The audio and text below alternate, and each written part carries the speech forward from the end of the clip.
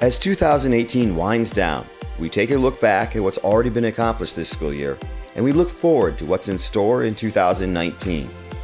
Students, teachers, and staff have been actively engaged in teaching and learning. This engagement has led to breakthroughs, success stories, and challenges overcome. Already this fall, our students, teachers, and schools have been honored and recognized for their hard work, determination, and commitment. These accolades have been realized inside and outside of the classroom as our students grow with the help and encouragement of so many individuals coming together throughout the Ann Arbor Public Schools.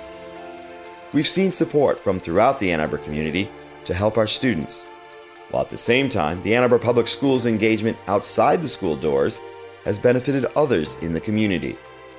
Teachers have engaged students in ways big and small, and we know these moments of human connection will make a difference in 2019 and for years to come.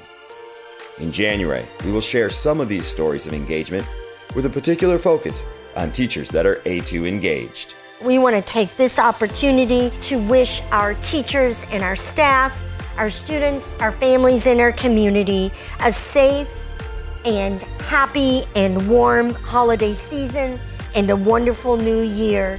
We will miss you, students, every day that you're not with us, and yet we hope you're resting up for challenges in the new year.